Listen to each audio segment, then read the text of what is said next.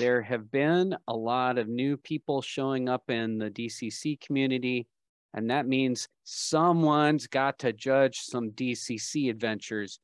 These games are not going to run themselves. Well, we heard you, Forensic Ones. You want some tips on running DCC? provided by some old hands and also some one time newbies who've been through those struggles. We've got you covered with an all star cast of judges to share their DCC hacks, pro tips, and of course, a little general judge splaining. I'm Judge Julian, and here's my partner in chaos, Judge Jen. Good evening, everyone. Well, hello. And if you're like me, and I know at least you're this much like me, you were at Gary Con just like three days. When did you get back home, actually? Um, like five um, minutes ago? Some undisclosed time, possibly prior to uh, Wednesday, the um, 29th, possibly right. prior to that. Yeah. Okay. Well, you look pretty fresh and rested. So that's good. You look recovered and hale and hearty. Yeah. good, good for you. Well, it was. Is it? There was a little COVID flying around, but did you feel? Did it? Did you feel like it was kind of like the old days? Like it was kind of was, like an old con. It was kind of like the old days with, um, and you can probably feel it in my voice. Good old con crud. Um, yeah. But yeah. hey, all, all the tests for at least in our house are negative. I have heard of a lot of uh, not negative tests, but the majority of those seem to be from the people who were playing the games. And that sounds horrible. But you were also sitting in a space next to somebody for four full hours as opposed to, you know, just well, dealing with 400 people. I'm trying to record hour, right? right? now, so I can't talk to right. you. right. No, it's did you find it, a resolution? It was unfortunate, but um, I I think uh, you know, people muscled through that. Hopefully, nobody got too sick. And I, of course, got exactly the regular, the old. That's one reason it felt like an old con. I got the old con crud, test negative. Yay! But I mean, ish, crud right? positive. Uh, yeah. Actually, not as bad as as other times, probably. So. I mean, going back to your question of did it feel like the old days? Kind of, but it was both bigger and a little bit more um, some people seemed a little bit more careful, if that makes sense. I, I tried to mask during when I was running games and stuff. And uh, did you get to actually play any games? No, but I immersed myself in the community and spent my downtime with friends to kind of make up for all of that. I I do kind of regret not running one thing, but on the other hand, I got a nap. So, you know, when you get old, you make these choices. Yeah, as you get older, sometimes you would you need to recharge the cosmic batteries. And uh yes, yeah, that that is what it's like. As I get older, my con experience has has had big noisy ups and also nice little quiet downs. And right. um it's had continued to have adult beverages, but it's also had coffee and lemonade and uh, Propel and other things like that. So I um, do believe yeah. I forgot breakfast like most days. Yeah, well, we were having fun. Hmm. So I hope. I hope the I'm sorry that I didn't get to give Grape Ape my favorite Goodman Twitch personality hardly any like more than 15 seconds of a hug or something in a top secret um, thing but um, that was that was fun, and I, I yeah. So Matt, we got to get together next time. So anyway, enough Gary Con wrap up. Uh, it that was, was quick. Yeah. Well, it, do you want to cover anything else? Do you? Uh, oh, I was going to ask you, oh. how many bookstores did you visit on the way back? Uh, just one because we had some other errands as well. Jen was, t- or somebody was telling me that you guys commonly stop and look for the scour the appendix N shelves at some yes. of the used bookstores. Yes. Since our booths sell our original, you know, appendix N literature, which I love. So, and of course, that's I I go deep. I came back with a lot of that stuff as well as some obviously some new stuff. So, um, I'm glad you enjoyed. Oh, it very much. Probably our favorite like date night thing. Oh, yeah, that's excellent, excellent. All right. Well, go team Lankhmar. yeah. I was a, it was for whatever reason it was a Philip Jose Farmer uh, book haul for me this time, but who knows? Nice. Thank you for taking those. oh yeah, well somebody's got to do it. These books aren't going to read themselves. So hey, nice nice way to get back on track there. You got it. So let's do it. Yeah, we have some judges, and you're getting really tired of listening to us talk about Gary Con and uh, aftermath. So we got some great judges. We're going to jump right into that in about one minute or less. Tell me now, what could it be that calls us so incessantly? All right, welcome back to Spellburn. And we have with us two of our uh, greatest and well known, best known, I should say, celebrity judges Judge Daniel Joseph Bishop and Judge DJ LaBosse, aka Brendan LaSalle. So uh, I wanted to invite these guys. We we have all heard, I think, that there have been a lot of new players, new judges, new people coming into DCC. There's been a lot of action since around oh sometime in December about people checking out new games uh, kicking the tires on different games, trying new stuff, and they want to learn about it. And I figured, you know, obviously, if you want to try a new game, there's got to be somebody to run it. That person has to get a book. He has to, or she, they have to get a book. They have to run the game. They have to get some extra funky dice, maybe. Well, you can hack that. But um, it can be challenging to do all the judging to learn those rules and i figured let's let's go through that break down those barriers um, and you know start talking with some old uh, some older judge some veteran judges about you old know, is true well either his words not mine it's it's true here accurate. too yeah. It, they're really for me they i consider them aarpgs but um, that's a whole nother story Oh so, snap! Oh, yeah. All right, all right. I hear that. I hear that. I hear that. Well, you know. so, uh, so I thought for because many of our newbies might be our age and having our experience and wanting to check it out. So I talk about transitioning you know, I I don't know what you guys were. Were you already on the OSR, or were you? I know Brendan, you were still playing some three five ish Pathfinder stuff, yeah. probably up to up to the rollout of DCC. At least your Xcrawl was in that kind of system. Even like two two maybe a year or two beyond um the the DCC started coming out, I was still writing and doing all the Pathfinder Xcrawl stuff. So we'll start with you and then I'm going to ask Dan the same question and and where he was at at the time. But you know, for you, what was what was the biggest shift to kind of lead, you know, get out of that? I don't mean like you had to get out, but you know, you know, going, you coming coming from there and then picking up yeah. a new system. What what did you find challenging? I mean, it's a mindset. You know, to Dungeon Crawl Classics is definitely more of a state of mind. You know, you can run. So I was I was at the time running Pathfinder. It's a pretty regimented system and it uh, it really is by the numbers. You can just you know you can just literally find a rule to cover absolutely you know any situation. And situations that are not uh, covered by the rules you can literally just say you can't do that. And that's just the nature of that kind of game you know? So i think part of it you have to start getting into the the dcc mindset where people can try these incredible daring cinematic type things and do these really interesting things, but you know that that maybe will work, maybe won't work, but you know, uh, but certainly even if they fail, will add like flavor to the game. So that was a that was a big part of it for me. And you know, learning the system, it's like anything. You know, I mean, I, I made mistakes at first. I remember at you know, I remember the the first time I, I ran high level DCC um, stuff, I was giving uh, halflings uh, uh, backstabs I, I just don't know why I hmm. thought they had that, but it was just a mistake I made, you know. So I hmm. mean, I I made a lot of mistakes in those early days. I just ran so much that I got to where I was, you know, comfortable with it and better, you know.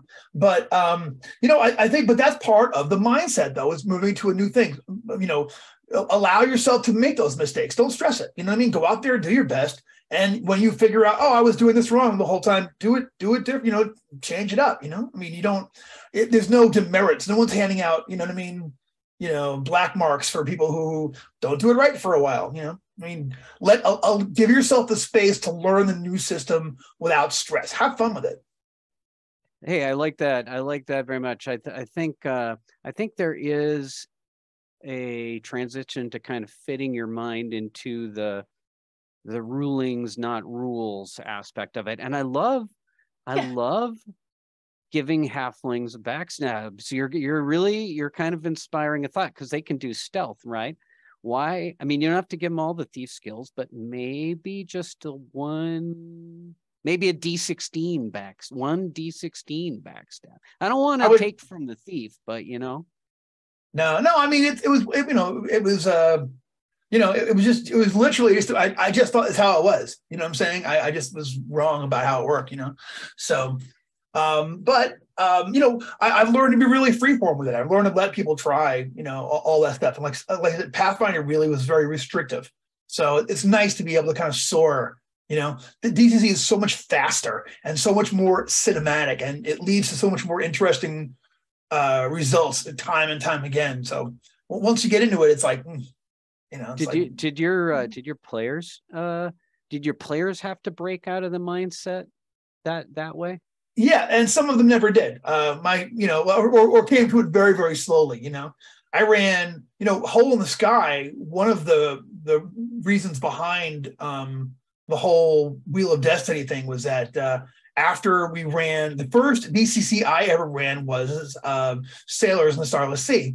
And uh, when it was over, my characters level, my guys are leveling up their characters, and he's like, "Hey, um, how do I change my um, my lucky sign slash birth augur. It doesn't make any sense. It's it's spell damage, and that makes no sense for my guy to be a warrior. And I'm like, you kind of can't. It doesn't make any, you know. And he was like mad. He was like, no, that's stupid. I got this thing I can't use, and I got a plus one. And he was real, you know. And that was one of the things I thought, like, well, what if? Why can't that person change their stars? You know, and they can. DCC. What what what do we say, Tim? We quest for it. You know We quest so uh right you know so um why not you know you know so I, I kind of i kind of built that quest bit into hole in the sky but i hope everyone built all those things in their games you know?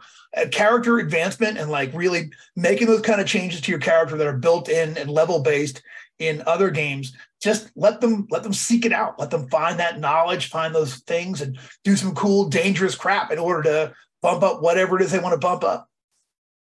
Judge uh, Judge Daniel, uh, what what were you doing before you adopted uh, DCC?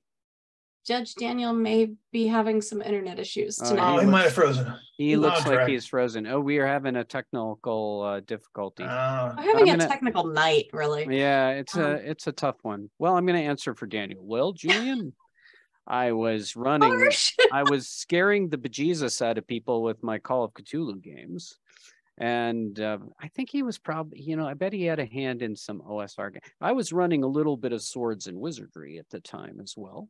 And um, yes, and I was making players um, swear off role playing games by, by how much I terrified them uh, with my Lovecraftian um, old school judge heroics.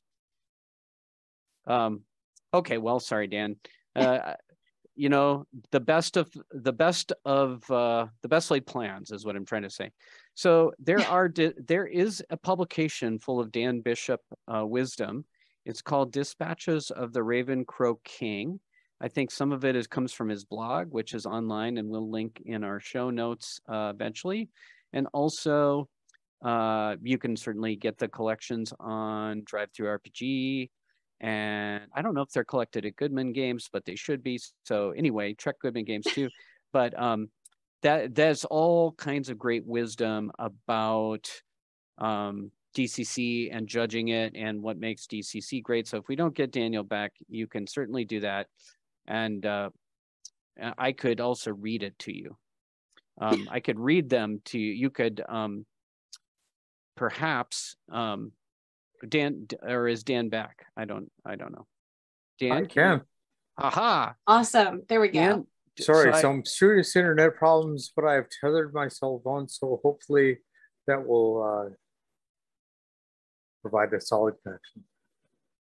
I, c- I, I'm, I'm envisioning Dan like chained to a bucking like mile long worm on the you know You know, which surface is of a Dune, just- really, really, really bad patron. You can Go patron. so the Dan, what patron of the internet is like screwing with me like you would not believe.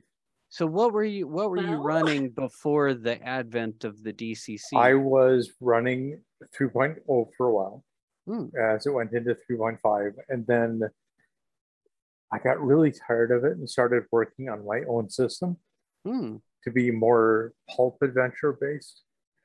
And then thankfully, Joseph Goodman came along and did it for me. So it saved me a lot of effort, a lot of time. Oh, especially you don't want to deal with those artists directly. I mean, well, Well, yeah. Or the podcasters. ah, I'm playing. oh, hey now. Oh yeah, you know. Uh, Brendan, I Again, mean, at that point, at that point, I was just looking at what I would like to play for my own purposes, right? right. And then uh, DCC came along, and I said, "Aha! I've discovered it." What uh when you picked it up, what uh what did you find, you know, what did you have to relearn as part of your transition? So you had a pretty old school yeah. thing This and then is you this dipped is in. this was like way before the rulebook came out.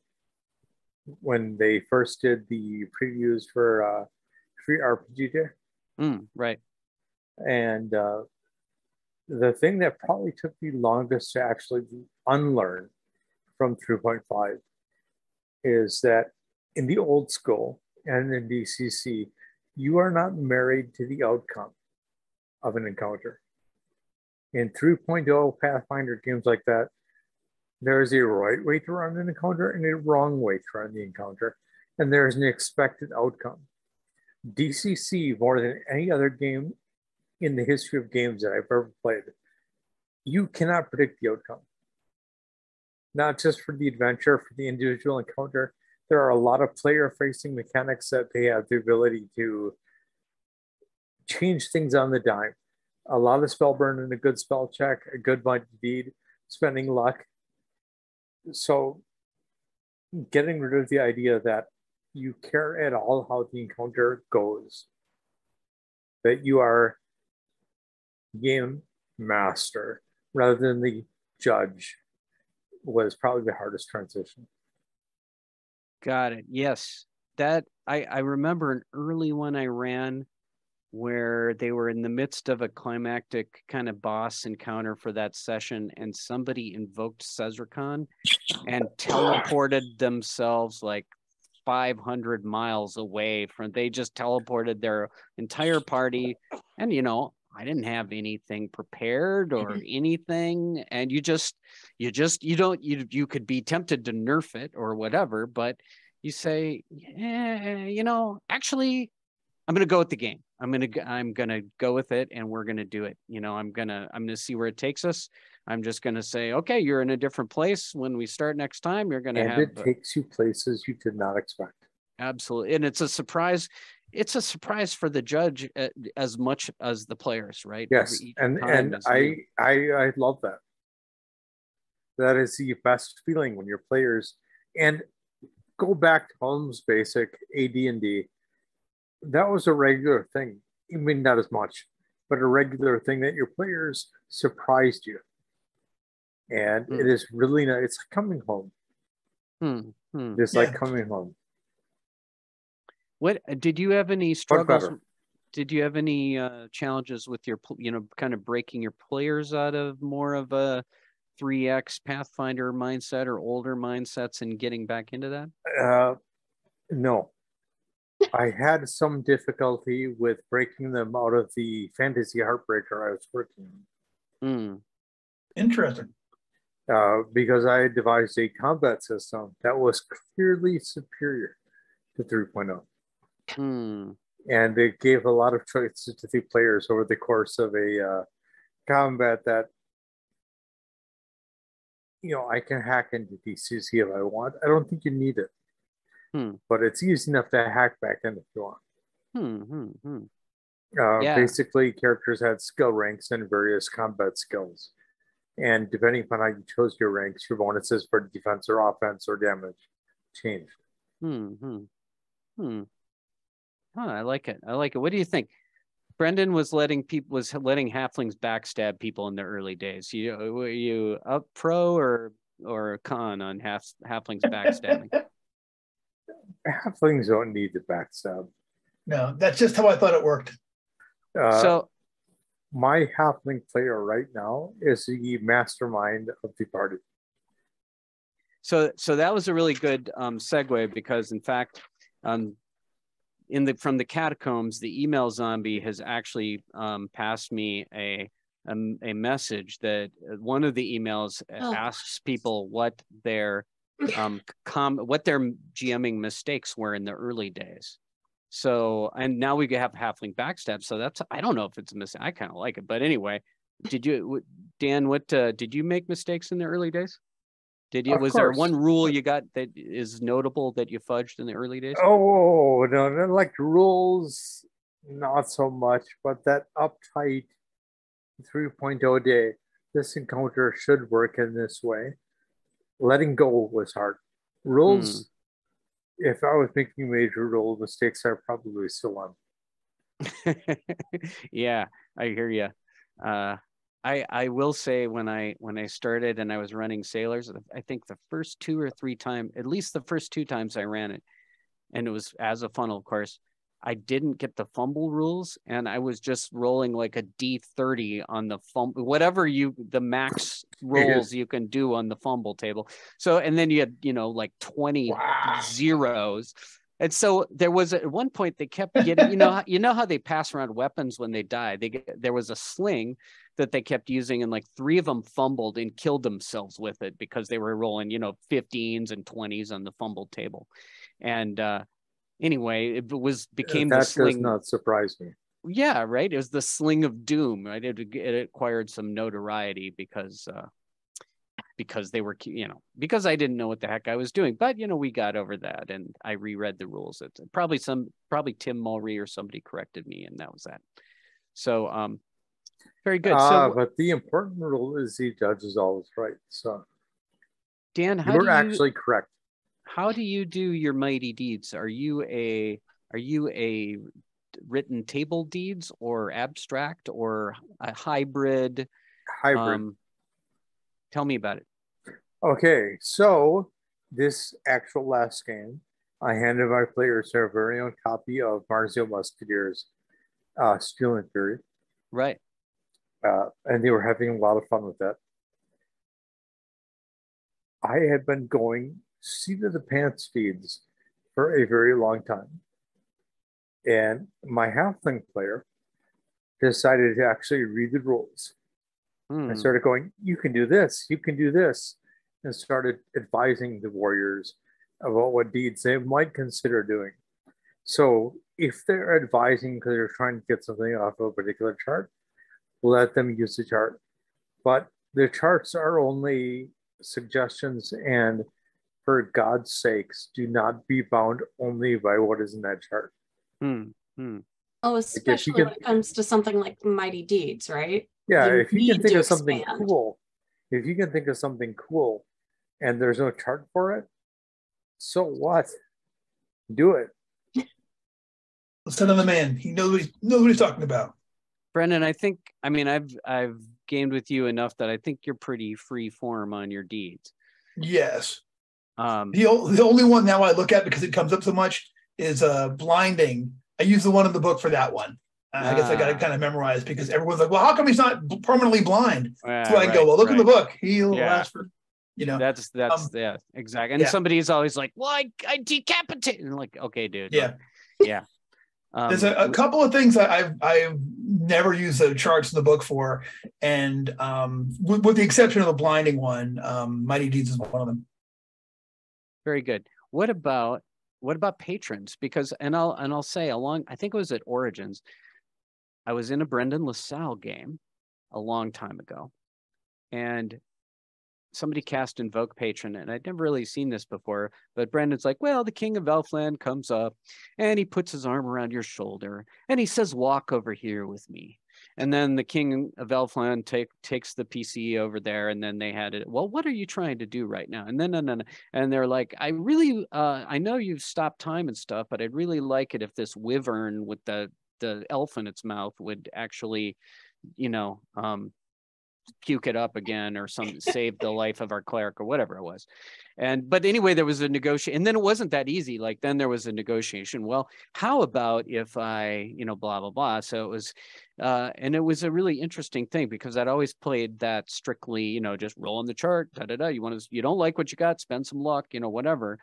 But i think it makes a lot of sense with your patron to be like oh you know hey uh, well, you can attack it again, and it'll give you a you know plus two dice, and um, and if you want more than that, what are you doing for me? You know, let's let's negotiate. You're going to take your buddies down and uh, blow up the QuikTrip that keeps selling me bad uh, Slurpees.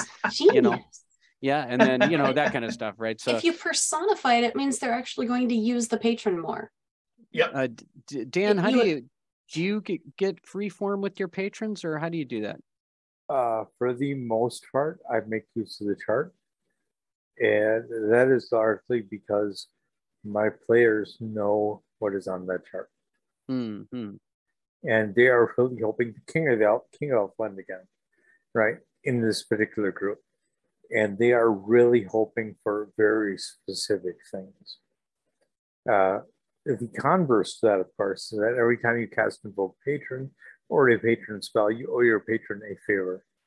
And patrons do call them those markers. And if it is a convention game and you've invoked patron, I will call in that marker that game. Mm, mm, that makes perfect sense too. Yeah. Yeah, that's really I love good. it. That like, is literally your character now has a secondary mission in the adventure.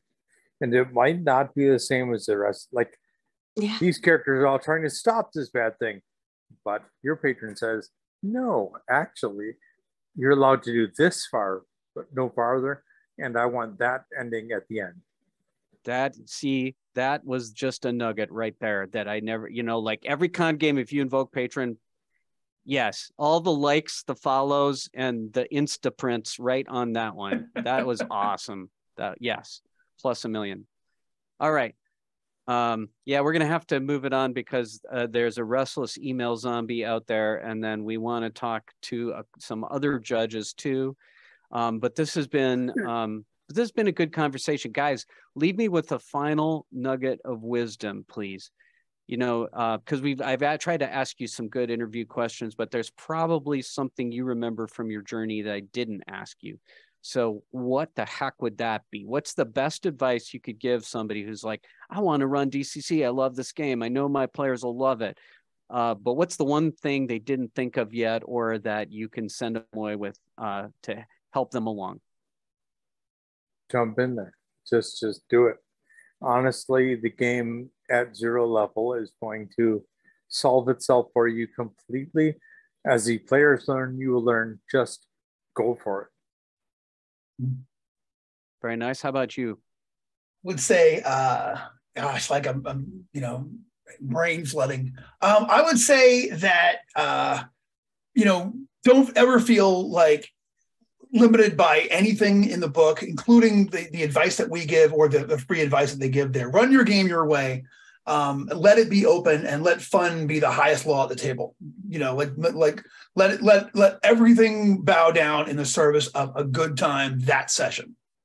Hmm, hmm. Can I add one other thing? Yeah. If you really, really want to have a master class in running the game, and you go to any convention whatsoever, and there is a Brendan LaSalle game in that convention, go and play in the Brendan LaSalle game. Uh-huh. Yes. I have played in several, and they're always great. Thank I, you.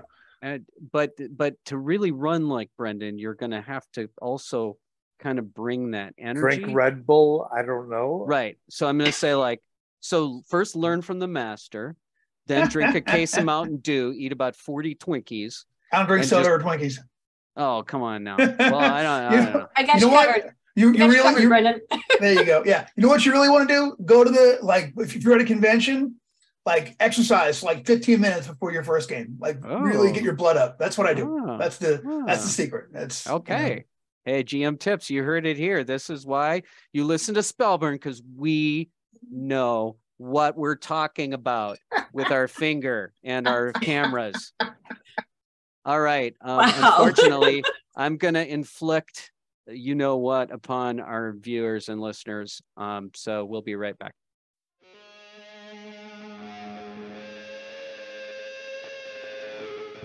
It's me. Yes, the email zombie. Cursed forever with the eternal torment of reading old emails written long ago to Spellburn, including Jeff Gold. Well, I guess that's just my lot in my unlife. So here we go. It's really nice how these all have to do with judging tonight. So I've been helping out our hosts and passing them some notes. But I want to say, first of all, all these other monsters, these cyclopses and pyramid demons from the starless sea, and worst of all, this magician skull, they got nothing on me. I'm the real thing. So remember the email zombie accept no substitutes. Okay. Uh, here we go. Harvey. Harvey Gillette, I think. Uh, he says something about how to say. Uh, hi, hi, Harvey. I don't know. Hello, judges. I only eventually started listening to the show and am many episodes away from catching up. Well, you've had a long time now, Harvey, because this email is like two years old. it has been insightful so far. I got into DCC thanks to Appendix N Book Club podcast. Well, I never heard of it. And learned about Spellburn along the way. Both shows have helped motivate me. I've learned so much from Spellburn and have realized my own feelings as a judge from the first funnel I ran. What were some of the common mistakes you made as judges when you ran your first session, and how did you overcome them? Oh, well, keep up the awesome work from Harvey Gillette. Yes, well, uh, you know, when I first ran DCC for the ghouls and the, the wights down here in the basement around the crypt table, we were using a long sarcophagus as our table and we were rolling the bone dice. You know, I, I was originally confused. One of the great things about DCC, they don't just label the monsters on the turning table with the with the zombies like the second easiest to turn. They just do it by hit dice great improvement. I did instinctively revert once or twice, but then I remembered zombies have the most hit dice. Harvey, that's all you need to know. Next email, Judge Christian. Hail, Judges J. I have a question about running road crew games. I have run more than ever being online this past year during pandemic. One thing I have come across that I've had a tough time with was disruptive players. Sometimes people are disruptive and don't know it. Sometimes it may be related to a personality issue or a disability. During the past year, it may have been related to a technical issue. I want to empathize with people and may need a little more understanding, but I also want to give every player at the table an opportunity to shine. Ah, yeah, not so much with the light, I think sometimes it is unfair to other players if someone is extremely disruptive and the judge doesn't do anything about it. But I don't know how to deal with it in a graceful and understanding manner. Do you have any tips or tools for a road crew judge? Christian, Judge Christian, listen closely to the email zombie. The best method for disruptive players. Eat that. Alana, lady, get out of my basement. Go away. Onward to a haunted shore, though we don't know what lies in store. All right, we're back. Thank With- goodness. We're back. Uh, that was that was terrifying. Who keeps letting that guy in? I mean, even even with all this bling, yo, I I'm totally I get My wards keep failing. I I'm sorry. So sorry, people. Haley, I'm sorry you had to see that. It's okay. It's you know, I'll be okay. It might take me a minute to focus up again, but I'll Okay. get through it. All right, good. So, um, you know, I wanted to vary things up because along with uh, new folks coming into DCC, along with judges who have done some other stuff uh, before, like maybe many years of running old school games and or Pathfinder, there are also folks who might pick up DCC and not have run a bunch of old games in the past. And you know they're coming in as like what the heck is this game? What is it? How do i do it? How do i what does running it mean? And and know, all those questions. And how did they fit so much art in this book and all those questions so um jen i think you know you had been around the game you know gaming people and some and probably played some before that i don't even know how much but i think dcc was the first game you actually ran if i recall correctly Correct. After nearly 20 years of playing various games. However, yes, Yeah, our, our our lovely now uh, guest, uh, many people know her from well, uh, running her very first tournament when she was 14. Um, Yes. so, so, yes, wouldn't So- wouldn't recommend a whole tournament out the gate. well well you you rocked it and uh so so you know that's a really different experience so um haley i'm going to let you go first you you know at some point you you'd seen the book you played the game at that point but you at some point you're sitting down to run your first game you know how did you approach that and what were you thinking as you went through that Um, so it started when I played Carnival of the Damned by David Beatty. Amazing, amazing game. I was like, you know what? I think I can do this. This is the one I think I can do because it was designed to pull encounters and set up kind of your own adventure. So I could pull the ones I felt strongest with and just do those ones. Hmm. Um, it was also a tournament, so I didn't have to be worried that people were going to die and then it was going to be a whole thing.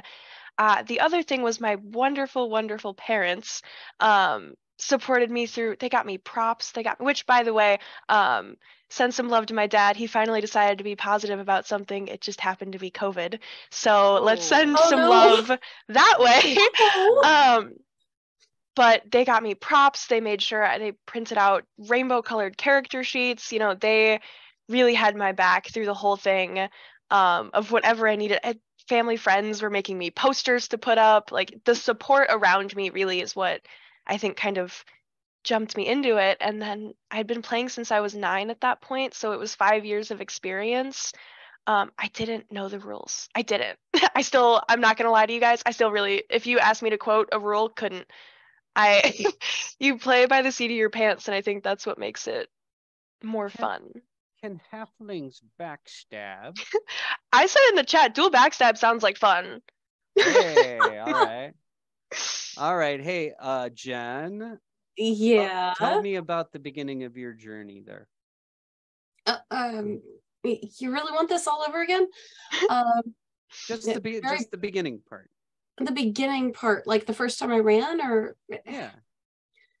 um, I put my hat in the ring for some sort of game day that was being held locally, and said, "Fine, I'll I'll run a table." And I picked the one adventure that I had actually already played, Hmm. which was oh shoot, uh, the undulating corruption, because it was from Mm. uh, Free RPG Day 2012, right? Yep. And I really wasn't sure, and I got a couple of people that were like, "Eh, whatever." Yeah. Is this like Pathfinder? Uh, and thank God, oh, one of our friends that used to host a game at his house all the time, uh, he came down from, oh, geez, like mid state Florida.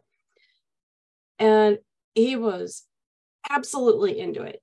And he took the caster, and I went, oh, crap. And it didn't matter that I was fumbling, he was still making the most of it. And I think he was probably the one thing that kept me from just throwing the towel in and saying, well, that sucked. Let's try something else. Hmm. So it it was a little dicey at first. No, no pun intended, I swear. Um, I I at least knew my dice by that point. But now it, it was it was uncomfortable, I have to say. Hmm, Like the hmm. first few times, especially because nobody down here yeah, let's just say I have a different chromosome than most of the players in this area, right? and Yeah. the fact that I'm also probably twice their age. That's a deterrent. Or if I am their age, they're so stuck in that mentality of being the forever GM that nobody else is going to run a good good enough game for them. So thankfully, we were introduced to the con scene and Gary Con, and then all the other conventions um, that aren't Gen Con, because boy, that took forever to actually run for Gen Con. Uh, but it it was it. I mean, even now it can still be a, a trial. I can say, hey, I'm running this game over to our FLGS, and there will be no shows. Hmm, And yeah. you just roll with it. Say, yeah, I, I did my part. I entered it on the uh, events calendar for Goodman Games. So I got my swag, and I guess I'll give it to people who appreciate it at the next convention. and uh, I I still get my credit. I showed up, and I came and and tried to make the best of it, and still game with friends. I, I I think I think we can all say there are times when you just don't have the best you have not run the best game of your life. And uh, sometimes the dice do it to you, sometimes the players do it to you, sometimes it's just not the best game of your life. And you know, after you've run like hundreds, you just go, ah, you know, that was that. You know, it's like Yeah. being a, it's like being an athlete. Like, well, we got our butts kicked. Now we just gotta tomorrow we gotta go out and play again. Yep. You know, like you Dust off the dice, do it again. Yep. because you I've- could have the best one tomorrow. Yeah i mean, I've had bad days as a player. You know, I don't play my best in Hmm. games. I don't always run my best games. You know, every Hmm. day is not going to be a win. That's fair enough. So, do you guys have any? Uh, you know, Alana is telling me something. There was a question about disruptive players uh, uh, in the email uh, portion. Do you guys have, uh, Jen? Do you have any uh, insight? Oh, I'm gonna let Haley take this one. Okay. Um, well, I did see uh No, not like- counting your dad. Not counting your dad. yeah, I just throw things at him. That one's easy. Um, you know, Michael Do Curtis seemed to have a good answer. violence. yeah, I'm sorry. Um, uh, wait, we don't condone violence. I might need to. Um, no, I saw Michael Curtis have a great suggestion of kill them. You know, that's a, an option. Um, I, you know, I study psychology in school, so I tend to take the approach of these people are seeking attention. Don't give into it. You back off. You focus on other players, even if it's to the point where you kind of have to have selective hearing sometimes. And then when it's their turn, to me, it's like uh, when you play with kids and you're trying to somehow in little ways teach them uh, table manners here and there you know when they're real little and they don't quite understand um, it's kind of like that and you have to have that selective hearing and then when it's their turn oh it's your turn in initiative now what would you like to do i think that kind of not feeding into their attention they either a realize they're being disruptive which is you know you can make a comment here or there of like okay and since it is so and so's turn and you just kind of highlight that um, they Yeah. either realize they're being disruptive or aren't getting the attention they need and kind of draw back a little bit that's my best advice just selective hearing works the For- wonders for online games, um, if you're running through Discord, um, as the person running the event, you might actually have the ability to mute other players. Same with Zoom. Hmm. Um, just throwing that out there. physical selective hearing Right, right. Actually, in practice. yes another thing that i like to do uh using using zoom is really helpful for many reasons for online games. And one is that you can actually send messages directly to other people. And instead of saying dude stfu um i will go with i prefer all of my players to receive equal screen time. And that is usually all it takes is once to the really disruptive person, and you can see them kind of recoil and they keep their trap shut for a while until it's their turn. and i mean if that were me i'd rather someone say it up front once than me continue to be a disruptive player. You know, like I I don't know how if other people feel the same way, but I'd rather be called out once and then learn than continue to be a problem for others. Mhm. As But- a- I, I'm a very big fan of not disciplining people um, publicly. Now, Yes. call it yeah. call it a managerial trait, ding. That's but uh, I another prefer to talk to somebody privately versus all right guys and who screwed up this time and why no that that's just never going to go over well that's yep that's another beautiful thing of the online things is you can private message Mhm. people and do the little hey but yeah I, but I, I always do it wrong. I always go if it's like to you know Bob. It's always I always do it to everyone, and if it should be to everyone, or if it should be to you know Bill, then I do it to Andre or what. It's like, I always I always expose. sounds like user error. Yeah, we have this I'm- great person named Stephen Newton, one of our other authors in in the fold. Um, he he can help you with your Zoom issues. Uh, it's really it's uh yeah. There's uh, maybe an attention problem. You're gonna end up with a personalized Zoom that's just big buttons that mute people. the big the bigger the I'm buttons, okay with that. the bigger the buttons, the better. Okay. But no, I, I also like even on a Zoom basis, if you're if you're running something that you're passionate about, it will show, and uh, you can tell on screen if people are looking down at their phones. You can see lighting change, especially if they're wearing glasses, like when they pop over to their Facebook window or something. Um, usually you can keep them engaged and i'm really grateful for that over the past three years Well, I love I love your advice for newbies. Pick an adventure you love. Uh, you know, something you've played is also a really good idea. I heard Carnival of the Damned. I heard Highly recommend. Yeah, and Ooh, yeah. um, the uh, sorry, I know that adventure, but I, what's the name again, Jen? Um, Which- the oh the undulating question yeah, the undulate, which is also a great quest for an adventure if you're trying to, Yeah. your wizard's trying to get rid of a corruption, right? As a caveat i think it starts at like i think it's fourth level if not fifth so it is a higher level versus a funnel but Hmm. for me that was perfect to get new players involved and show them you know the glorious things that these classes can do in dcc Awesome. Uh, really important question, Jen. Shadows, uh, excuse me, um, halflings backstab. What do you, uh, uh? um give me a roll and make it really sexy Ah, like- Exactly, ah, Jen. really exactly. Maybe pour some halfling luck on there while you're at it, type thing. I mean, if we're talking fleeting luck and Lankhmar, uh, because I know literary Lankhmar, you shouldn't have halflings, but I'm a huge fan of fleeting luck anyway. Um, we we can talk. Yeah. Hmm, hmm. Agreed. So I ran a City of the Dam campaign for three years, and my only judge advice is don't do halflings, clerics, and fleeting luck at the same time. At least not without some interesting house rules. Right. because The bless will, yeah. Anyway, enough said. Um, I yeah, get you. Yeah. Yeah. Yep.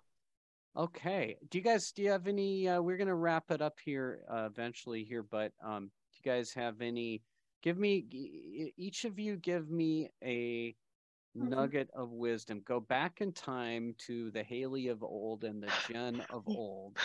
And and what would you Older. tell what would you tell yourself if you could just whisper in that person's ear before their first game? Um, just do it. Your players aren't gonna lynch you for it. You know, if you mess up, okay, roll with it. Uh, it's not world ending at the end. I like I have horrible social anxiety, but what I learned is no one cares if you mess up one rule, if you fudge this, if that happened. Like no one's gonna be like, this game was awful because she didn't remember the exact ruling for when this weird situation comes. No one's gonna do that. They're there to have fun. As long as uh, you're having a good time and they're having a good time, who cares? Who cares? Normally, normally I would totally be on board with that, but your father made my very first con game less than I don't speak for him. I don't speak for him. everything I was running was playtests for other authors. So it was very concerning to me if something was wrong. Hmm. yes. Um, I would say now uh, go through it like you want to run this yourself, not because you're nitpicking every little thing for the authors, even if you're playtesting something for them. Hmm. Run it like you normally would because that's how it's normally going to be run. If thro- someone throws you for a curveball, lean into it, go with it. Um, the other last thing I would like to point out is that the uh, War of the Cyclops Con is coming up May 6th and 7th. So anybody who hasn't played and is very curious about DCC, it's an online con. So there's the only obligation is a couple hours of your time. Sign up to play some events. Absolutely. I'm running a funnel online, which of course I said I would not do again. So that's Sucker. why that's why I'm doing it. Yes. So um exactly. No, that'll be fun. There's going to be a lot of fun games. There's a lot of uh all kinds of people from the community, you know, old and new and everything. And that should be a great place and a great opportunity to run your first game. You can also run a game for two hours, you know, feeling Right. fe- feeling a little uneasy, run a game for two hours and, you know, take, uh, you know, one of the shorter uh, free RPG day adventures and, and go with one of those. Uh, it's pretty easy. And don't forget the demo nights every week. Brendan and Co run those, and those are completely free, no obligation except to show up and get a feel for the game. Yeah, yeah, perfect. Uh, good, good reminder. So, um, so I want to just uh, go with a couple um, things at the very end here. Uh, yes, we had an issue with the last, the last episode. It appears that Versus- dipped into the phlogiston um, and uh, stole it. So stop the steal.